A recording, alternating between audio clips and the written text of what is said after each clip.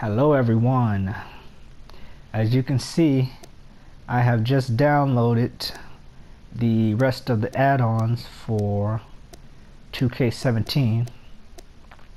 Actually, I did this a few days ago. So now we'll be able to download all of your updates with no problems. I'll be able to update your superstars because UPW is returning next week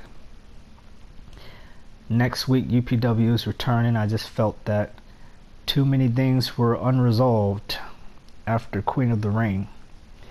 The Iron Man match did not go how I planned for it to go because I forgot that I had to take the momentum down to slow or whatever for it to go the whole 30 minutes.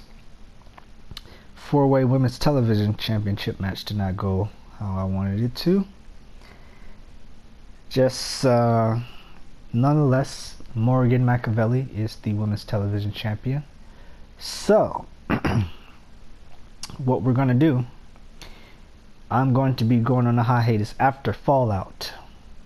We're going to go into the Fallout pay per view, which is a joint pay per view with the men and the women rosters. But next week on Ladies Night Unlimited, Morgan McAvely will be defending the Women's Television Championship against Alexia Lovecraft.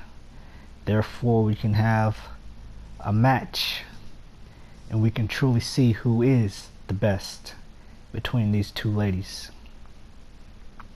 I'm a perfectionist, so things got to be done right in UPW.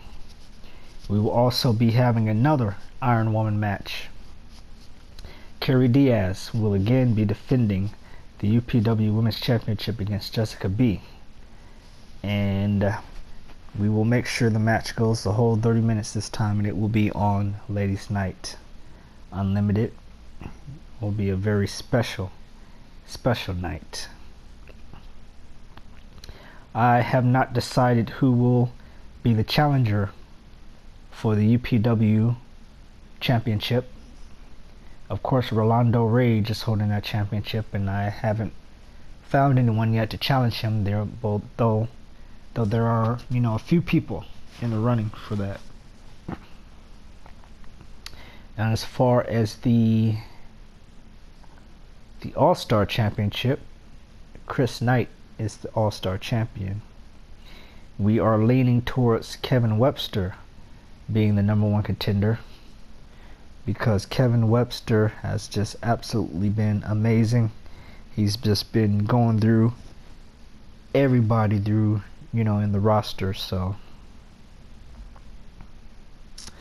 anyways, yeah, I think you all should look for UPW again next week. We're going to be starting again just until the next pay per view Fallout after Fallout, I will truly be going on my hiatus because I got stuff that I got to attend to in life. I got a lot of stuff that I got to attend to in life, and I just can't afford to be sitting around playing the damn game, even for an hour or two. So, again, we're going to be having some new superstars also. We're going to have, be having some new superstars on both rosters. I'm telling you, man, it's it's it's going to be even crazier than what you've been seeing already.